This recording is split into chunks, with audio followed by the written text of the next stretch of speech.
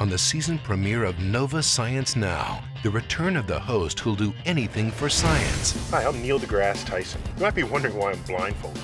I'm on my way to a hidden laboratory to report on a top secret diamond making operation. Where am I? Oh, sorry, I'm not supposed to ask. so this was born in one of your machines. Are diamonds the key to a new era in technology? It's cutting into the ice like a knife through butter. Silicon is so 20th century. It's time to move on. It's going to be in our cell phones, electric cars, and in our power grid. It will be everywhere. Our love was like a supernova.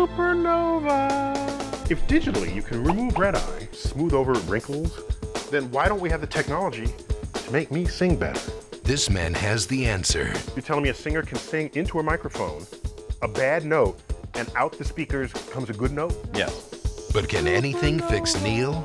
On the season premiere of Nova Science Now,